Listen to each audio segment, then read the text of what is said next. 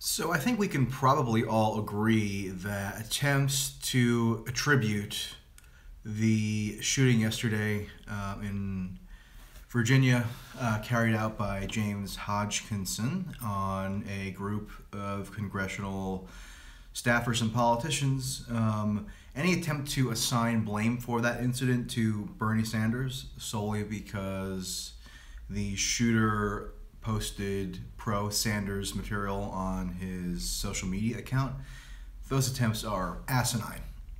Um, and the idea that uh, Bernie should bear responsibility because somebody who had signaled support for him in the past did something violent is I mean it's it's too idiotic to even address head on in a way.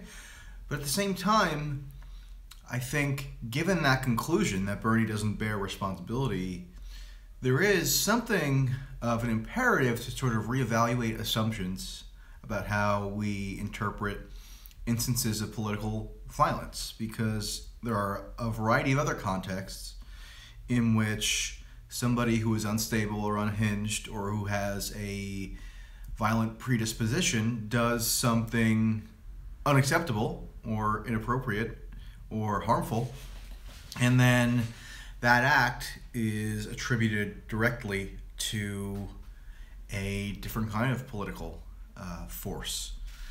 Um, so yeah, that happens across the board. Um, and I think what this incident should reflect is that we have to take much more seriously and be much more cautious about extrapolating causal connections between political violence and political rhetoric. Um, and you know, one thing that makes this makes this analysis so dicey is that there's a trend in recent years for whenever somebody does something despicable or carries like carries out a mass shooting or engages in some kind of terroristic oriented act um, a avalanche of amateur image, uh, internet sleuths run to Twitter and Facebook and Instagram and YouTube and everywhere else, and um, and they try to make grand conclusions based on what the assailant may or may not have liked on Facebook, for example, what uh, who he follows on Twitter, who um, who he's friends with on Facebook. And to me, this is always sort of a fraught exercise because it's difficult to discern exactly what somebody's true motivations are, even if you are sitting with them face to face and have a two hour discussion with them, right? I mean, it can hard it can be difficult to, to dig down into first principles, even when you have full access to somebody's brain in, in the form of being physically exposed to them. Um, so the idea that you can make any kind of firm, absolute extrapolations based on what somebody might have liked on Facebook is is uh, you know very very problematic. I would say I hate that word. Um, it's definitely overused, but this latest trend in amateur internet analysis does seem problematic. You know, so that being said, one of the links that James Hodgkinson, the uh, assailant, alleged assailant, confirmed assailant, uh, did share recently was a conspiracy tinged or conspiracy inflected link on March 22nd, which was accompanied by the caption, quote, Trump is a traitor. Um, and the, the link had to do with demanding that the Russia investigation be more forcefully pursued and that Trump be deposed from office because he had treasonously collaborated with a hostile foreign actor. Now, as we all know, this is rhetoric that has become thoroughly, thoroughly mainstream in Democratic circles of late. Um, there are huge swaths of the Democratic base, of the liberal base, um, who now believe some variation of this rhetoric that Trump is a traitor and that democracy has been upended as a result of this nefarious foreign intrusion. Um, and the so the idea here is that if you sincerely believe that, then you may well calculate that certain extreme acts are warranted to address that situation and rectify it. Um, and if you have a unstable mental predisposition, or if you have delusions of grandeur, or if you have any other kind of character trait which might lend you, which might lend itself to you viewing uh, carrying out one of these violent acts as somehow uh, somehow desirable, then you have to acknowledge that the preponderance and the ubiquity of this rhetoric can have an influence on people. And again, we can't conclude too much from the fact that he shared this one link. He may have shared other links that are um, relevant here, or he might maybe his sharing of links is not relevant at all to why he did what he did.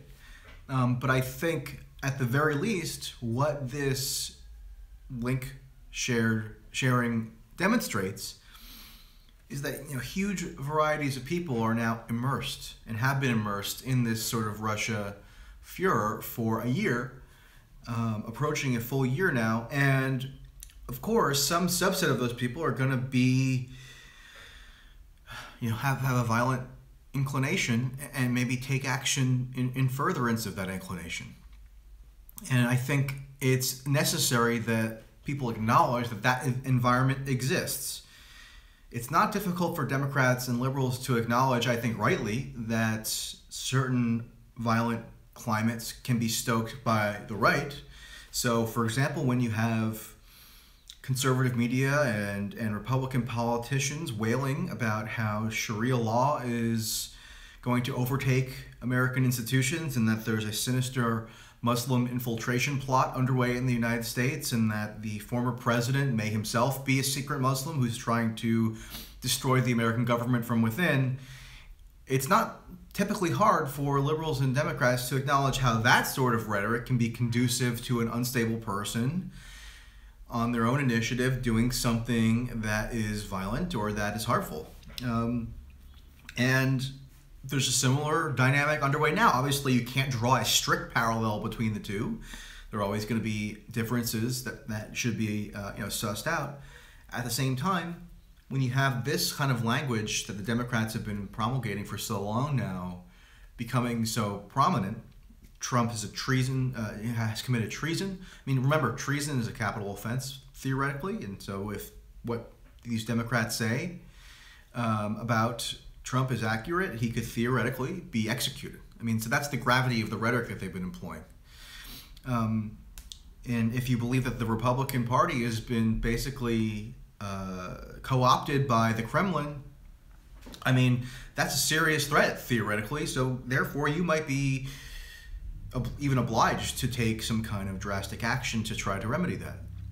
Um, now, all that said, in the aftermath of these events, there's a tendency to make causal connections between rhetoric and action, or to assert that somebody acted as a direct causal result of political rhetoric that they've absorbed or imbibed. Um, and that I don't think is, is correct either. Um, so even though Democrats might be responsible for fostering this kind of paranoid climate, and even though, as a result of that climate that they fostered, certain people who are unstable and, and paranoid might do something egregious, that doesn't mean that Democrats are directly culpable for any individual act of violence. Um, and and it's a, a, huge stretch to assert so. Um, causation in these situations is always very tenuous, and it's difficult to make a direct connection between action A and rhetoric B, right? Um, humans are complex individuals. They have, so if you have some political beliefs that maybe have been fostered by media figures or politicians, that doesn't alone constitute a motivation for you necessarily. The motivation arises when certain mental characteristics that you have that are pre existing interface with that rhetoric and kind of congeal to form your motivation. Um, so it should be really abundantly clear that neither Bernie Sanders nor the Democratic Party nor anybody is directly responsible or culpable for this act. The person who is culpable is the person who carried out the act. However, you have to acknowledge that there's a context in which that person operated. And if that context is imbued with paranoia and very extreme interpretations of events, it's silly to deny that that could have an influence on the way that people perceive the world and thereby have an influence on how they act and what actions they carry out. Um, but there's a very strange reticence on the part of the media and on the part of Democrats and liberals in particular to acknowledge this when they would readily acknowledge it in the case of certain right wing trends. And I think they ought to acknowledge that. And and Dem- and Republicans have a responsibility for fostering a climate. Again, I'm repeating myself here, but the formulation is really necessary to make sure it, it, it's clear the Republicans have a responsibility for fostering a climate where people have, in their base, have paranoid delusions about the supposed threat posed by Muslims, and um, and when a deranged person carries out a violent act against Muslims, it's reasonable to infer that they were influenced in some sense by the wider context that has been uh, has been ginned up by by conservatives and Republicans. That said, you can't blame any individual Republican for any individual violent act. That's an unwarranted leap in asserting a causal connection. And the same situation applies here. Um, but you know, there's there's a weird now uh, tendency on, on on the liberal side of the equation to say that this person's political beliefs couldn't have possibly influenced his actions, um, and to say so is, is an unwarranted extrapolation. Of course, political beliefs can influence actions. Um, so can religious beliefs. So can you know more kind of generic moral beliefs. So can interpersonal disputes. I mean, so the, the idea that you're going to deny that a political belief can be operative in someone's decision to carry out a violent act, I mean that's that's foolish and and self-defeating in its own right. That's not a correct way of interpreting this. And so you can acknowledge that, but but also acknowledge that the, the, the leap into making a causal claim, meaning that somebody's rhetoric directly caused somebody's violent action, that leap isn't justified. Um, so there's a there's a there's a medium that can be that can be struck here. I know that the the the differentiation here is a little hard for some people to to grasp, but I think it's very necessary to make them as clear as possible. Um, uh, so basically, that's the uh, that's what the point that I wanted to make. Um, I think that it's important that people take a sober look at, at how something like this can happen and not not delude themselves as to the causes or uh, additionally not make excessively uh, excess leaps as to who is responsible for uh, the actions. Um, so we'll never know, for example, if, if the Russia hysteria that um, is obviously in the ether had a, an operative influence on uh, the shooter, Hodgkinson.